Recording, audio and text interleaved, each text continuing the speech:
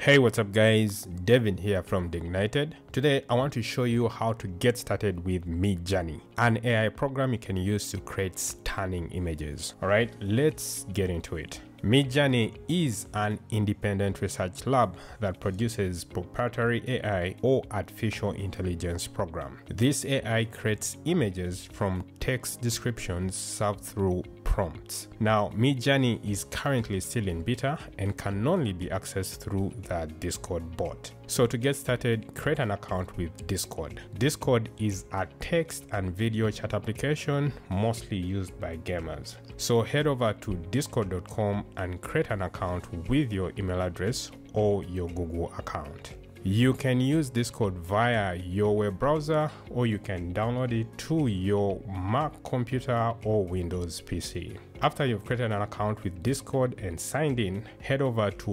midjourney.com and click on join beta. This will redirect you to the Midjourney bot on Discord.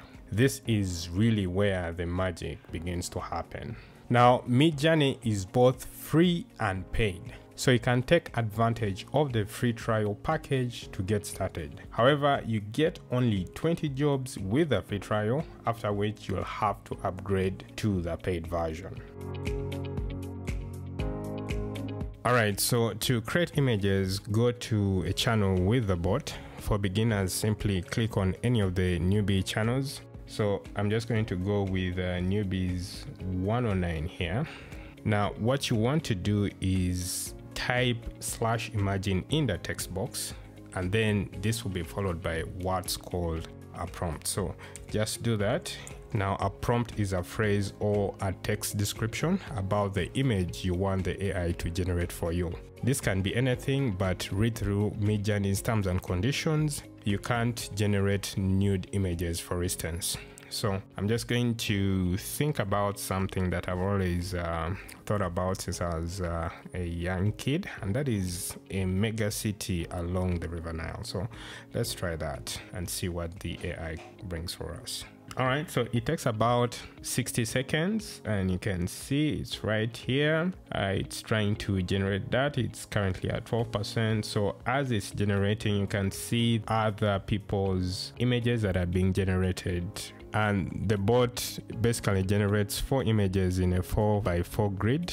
And this will come along with other images generated by other users on the channel. So just keep track of your response. This will uh, take a little bit of scrolling. It's kind of annoying because it's not very easy to keep track of your own response. So i'm just going to scroll and find mine right it's right here. So if you want to make things easy i recommend that you send the message to yourself. So just come to reactions here and then just search for envelope right here okay and tap on it. Yeah so discord is going to send the generated images to your inbox and now it's quite easier to keep track of what's being generated. So you can uh, just look through some of the results here and I think I kind of like this kind of looks realistic. You can click on open original which is still a very small image. What you want to do is to upscale the image right so I'm just going to click on jump to message here once again and you can see these uh, buttons here. The U buttons and the V buttons. So the buttons U1 U2 U3 and U4 are for upscaling the generated images whereas buttons V1, V2, V3, and V4 are for creating different versions of the generated image. So if you want to upscale an image, just click on U1 for instance here, okay? Yeah, so it's being upscaled right now. So upscaling an image generates a larger, roughly 1024 by 1024 pixel version of the selected image. So let's just see what it comes up with here right and it's done. I'm just going to click on it. You can see that this is a much bigger image. I'm going to send it to myself again to my inbox so that i can keep track of it because then you don't have all the noise of other users on the platform yeah? So just tap on this image to see the full version right here. And you can now click on open original which should open on your browser right here. You can see it's a big image and now here you can save this to your computer by right clicking on it and then you can now say save image as I'm just going to say city along the river Nile. All right, and there you go. It's a PNG, and when you tap on it, it's right here. So you can share this image on social media or wherever, or any other image program that you wish. All right, so let's just go back to Discord again here you go and there are a couple of uh, other options here when you use the button to upscale for instance can upscale to max which upscales the image to an even larger resolution of about 1664 by 1664 all right i think the upscaling is done and just have to click on it again and then click on open original.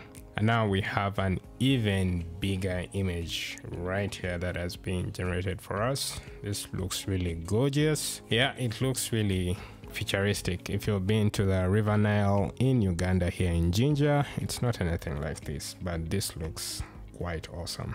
All right. So you have to understand that whatever you generate is public uh, it can be seen by everyone else on the channel. So just make sure that you don't put anything sensitive. You don't put sensitive information in here passwords credit card information uh, email addresses and all that. Now i want to just show you guys a couple of commands that you can use. We have already used the imagine command here which is used to generate images based on the text description that we put there. But the other command that i want to show you guys is actually info. So this shows information about your profile, the plan or subscription that you've chosen, your current usage, and then the current running job. So another command you can easily use is slash help.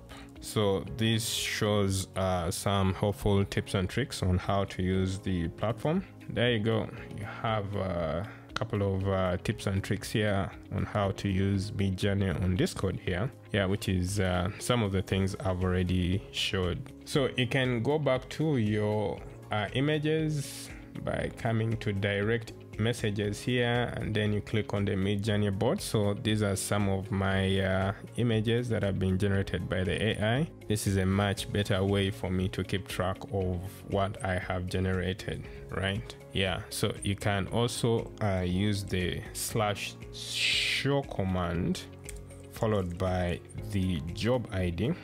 This should bring up that particular job that the AI created here and you can go back and create variations or upscale the image or do whatever you want to do. Great.